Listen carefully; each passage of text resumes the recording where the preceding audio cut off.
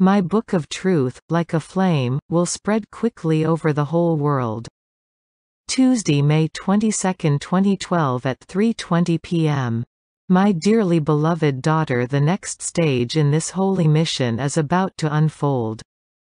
My book of truth, like a flame, will spread quickly over the whole world. Conversion will be quick and my holy word, in all tongues, will be heard. All of God's children, in turn, will spread my messages and they will be filled with the Holy Spirit. Their lips will impart the truth and all will prophesy in tongues so that the truth can be heard quickly. The thirst of God's children, who wander in a confused state because their souls are empty, will be quenched.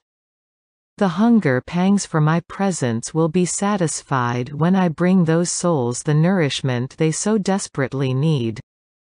When this happens very few souls in the world will be unaware of my great mercy. Take my gift, my holy word, my book of truth and devour it. For without it you will be like a body without a soul. When you swallow my words of wisdom you will become whole again. When you become whole again you will be ready to come with me into the new era of peace on earth. Await now, my beloved followers, for my written word will be with you soon and you will rejoice with love and peace in your souls. Go forth all my followers.